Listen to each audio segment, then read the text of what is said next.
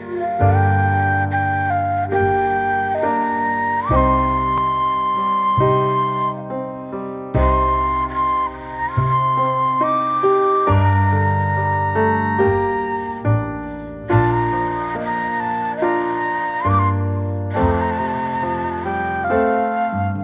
Esta é uma viagem solo de moto que se iniciou em São Paulo com o objetivo de conhecer a Bolívia.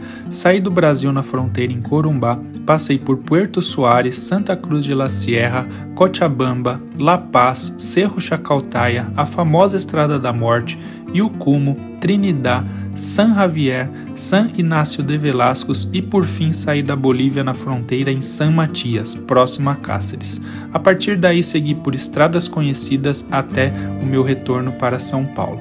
Foram 6.481 quilômetros em 15 dias. Todos os vídeos desta viagem serão disponibilizados gratuitamente, um vídeo por semana. Se você quiser ajudar o canal se tornando membro, todos os episódios já estão disponíveis para os membros do canal.